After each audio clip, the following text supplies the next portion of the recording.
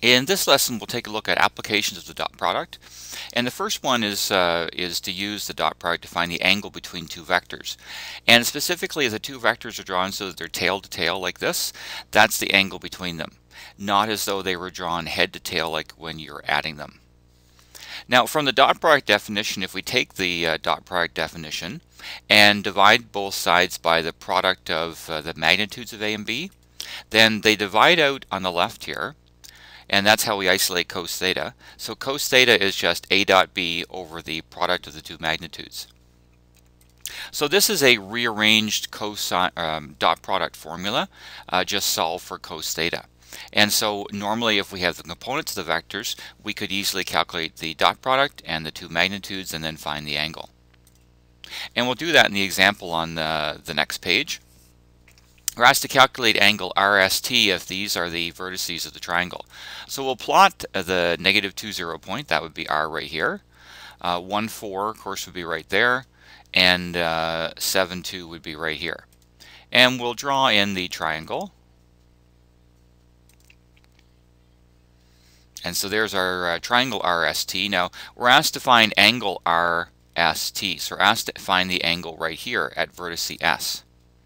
So I'm going to put a theta there. Now in order to find that, we need to uh, create two vectors that make that angle. So the vectors would be SR and ST. And so SR is the vector that goes 3 to the left and 1, 2, 3, 4 down. So it would have components uh, negative 3, negative 4. You, of course, also can uh, subtract the components. Negative 2 minus 1 is negative 3. 0 minus 4 is negative 4. And we'll do the same thing for a vector st. It goes uh, to the right 6 and down 2, so it's the vector 6, negative 2. So this is the formula from the previous page. Uh, our vectors are SR and ST, so in place of A and B we'll put those vectors, otherwise it's the same formula. So we need on the numerator to calculate the dot product. So negative 3 times 6 plus negative 4 times negative 2. And so negative 18 plus 8 is negative 10. That's the dot product. That's what will go in the numerator here. Now, the, we need the magnitudes of the two vectors. So the root of negative 3 squared plus negative 4 squared, that's 9, and that's 16. And that adds to 25, and the root of 25 is 5. For st, it's the root of 6 squared plus negative 2 squared. That's 36 plus 4 is 40, so that's the root of 40. I'll just leave it as the root of 40. It's not a perfect square like 25 was. So substituting all the values in, uh, the dot product was negative 10, and then uh, the two um, magnitudes are 5 and the root of 40, so 5 times root 40. Now if you divide negative 10 by 5 root 40, you get this decimal, negative 0.316, etc. And so, so then to find the angle, we take the inverse cosine of that amount, and we'll get the angle to be about 108 degrees. And it certainly does look, that looks reasonable. It looks like it is a little bit more than uh, a right angle. So angle RST is 108 degrees. Now projections, that's the other part of this uh, video lesson. The um, So think of the light source uh, coming straight down here and we have this vector and so its projection and I'll define it mathematically in the next page. Um, its projection is really uh, the shadow on the table. If we draw a perpendicular here and a perpendicular here, that pink vector, like think of it as a shadow, is the projection of this red vector onto the table. So more mathematically defined, on this page, so we've got this vector A and vector B. So A is actually the vector OA, I could refer to as A or OA, and uh, this B is the vector OB. Now, so they can be any two vectors. The vector we're projecting onto cannot be the zero vector. That's why this last statement is here, or next statement is here. So, and they form some angle theta. So in order to find the projection, we drop a perpendicular from the head of A down to B, and we'll call that the point N. Now, the projection of A onto B is the vector from O to N. So that's actually the vector projection of A onto B. Now, let's first of all find out how long ON is. Remember, the vertical bars means magnitude. And so the uh, length of ON, or magnitude of ON, is, you could think of it as a component uh, it's um, and although this isn't horizontal in this triangle you could think of that as the horizontal component of vector A So it would be the length of A times the cos of the angle. Now, we do not normally know what the angle is between the vectors, especially if we have them in component form. So although this is true, it's not a necessarily usable formula. So we're going to continue this uh, development here. Now, remember from the uh, previous pages, the cosine of theta is a dot b over magnitude of a times the magnitude of b. So we're going to substitute this in place of cos theta here. Now, notice that these magnitudes of a will divide out. And so the length of the vector, not, not the vector, but how long it is, is actually just the dot product divided by the length of vector b, the one you're projecting onto. So that's the length of ON. Not the actual projection yet, just how long it is.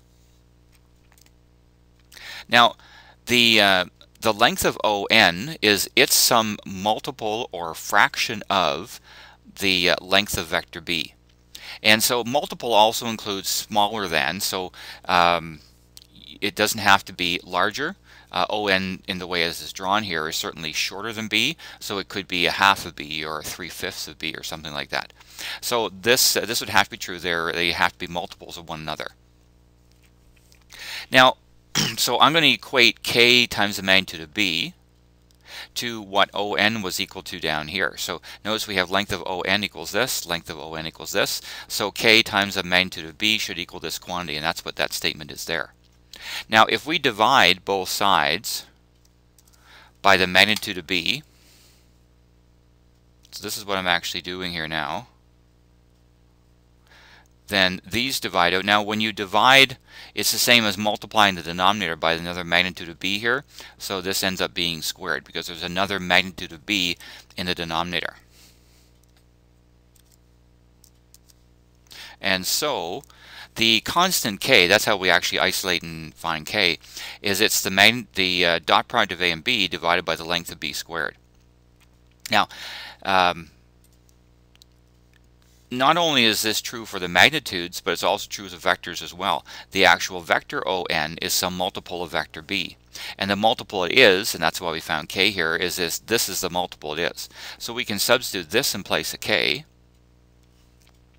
And so uh, the uh, projection of A onto B, or the vector ON, is A dot B over the length of B squared times vector B. So this times vector B is what actually gives it the direction, so it's in the proper direction. And this is actually just the, uh, the fraction of B that that vector is. So that's the vector projection formula. Now there's two ways to write this. Uh, some people like to write, and I'll write this below, since the um, magnitude of b squared is equal to b dot b, some people like to write this formula like this.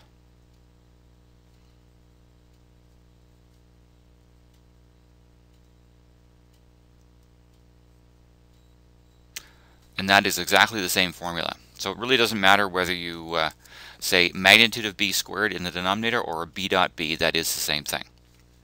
And of course that's the uh, diagram from the previous page. So that's the vector projection formula. And in an example here, we're going to use it uh, just to show how it works. And so we have vector c and vector f. We're projecting c onto f. And so uh, the first thing we need to do is find the dot product. So we go negative 3 times 5 plus 4 times 1. And negative 15 plus 4 is negative 11. So that's the dot product. Now we also need the magnitude of f, or if you're using the other version, uh, take f and take the dot product with the same vector.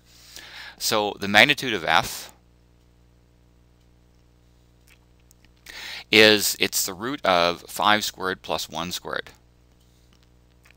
And so that's 25 plus 1 is 26, so that's the root of 26. Now, that's the magnitude of f. Of course, we're squaring it here.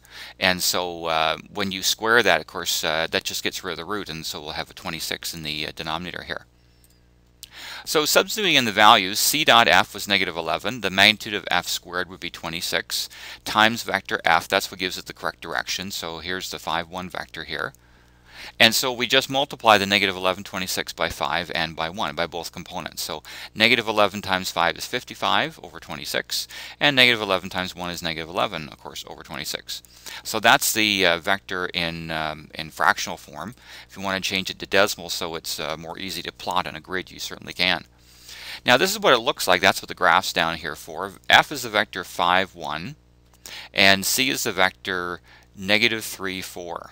So there's C. If we're project, projecting C onto F, you drop the perpendicular down here, looks like this. And then there's the projection vector.